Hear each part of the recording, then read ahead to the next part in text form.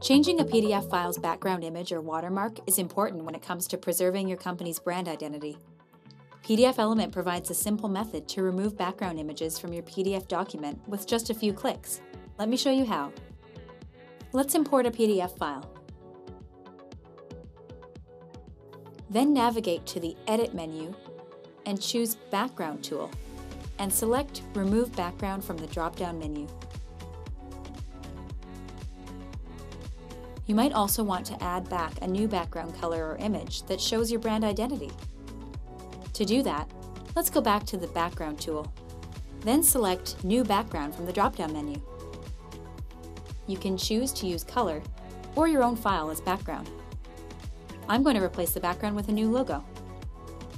Now let's customize more under Appearance menu.